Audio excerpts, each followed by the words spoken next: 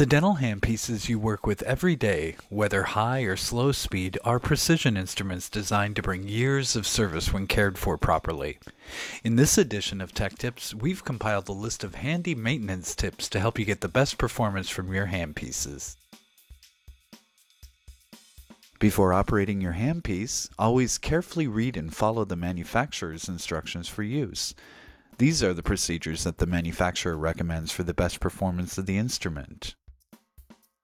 Use only the tools the manufacturer supplied with the handpiece. For example, never use pliers on a handpiece to avoid damage. A toothbrush and hot soapy water can be used to clean the handpiece threads and handle knurls. The handpiece exterior can also be washed with a germicidal detergent or cleaner. We also offer a handpiece scrubber to aid in pre-cleaning handpieces and instruments. Brushes inside the unit scrub off debris, and the suction cup base holds the scrubber in place. Never immerse your handpiece in cold sterilant or chemical disinfectants containing phenols, acids, or chlorines. They can damage and corrode some metals. Handpiece fiber optic surfaces can be cleaned using isopropyl alcohol or acetone on a cotton applicator. Don't pick the fiber optic ends with any type of sharp instrument. The quick disconnect connections and handpiece exterior can also be wiped down with isopropyl alcohol.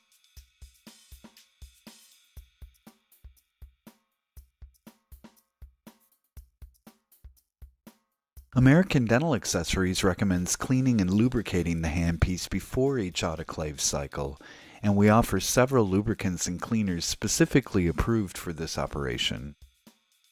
Handpiece lubricants and cleaners are only sprayed or dropped into the drive air hole of a handpiece. The exhaust hole does not connect to the turbine.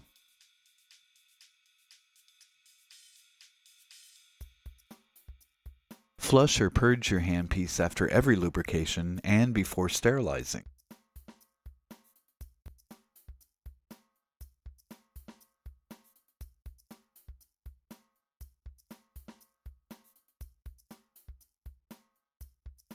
For best results, we recommend the use of a dedicated flushing and lubricating system. We offer several systems that are easy to set up and that do an excellent job of cleaning and lubricating your handpieces as evidenced after a cycle in the pads from the flush systems that you see here.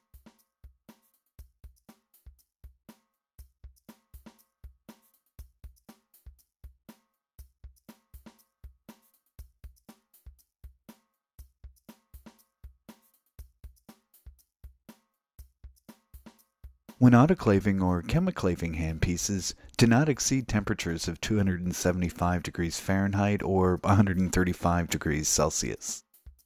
Use autoclave bags with at least one paper side as they'll allow moisture to escape. Never use all plastic bags. Always separate attachments from your slow speed motors and bag them separately for the autoclave. Don't autoclave your handpiece nose cone or latch head with a burr in place there may be a corrosive reaction between the different metallic surfaces resulting in damage. Manufacturers typically suggest that you have the drive air pressure set at 30 pounds per square inch. On most units, you would set your drive air pressure on the handpiece selection block similar to the block pictured here. Normally, anything in excess of 40 psi would only cause damage to the turbine without increasing performance. This Beaver State unit is only reading 15 to 20 pounds of pressure, which seems a little low. Be aware though that the pressure that you read on the gauge of the unit can differ by up to 10 psi.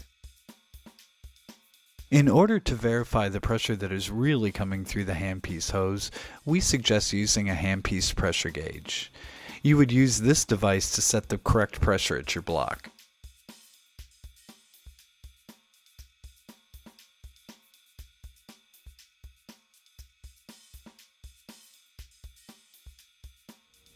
As you can see, the gauge on the hose reads about 32 psi, so we were able to determine no adjustment was needed on the block at this time.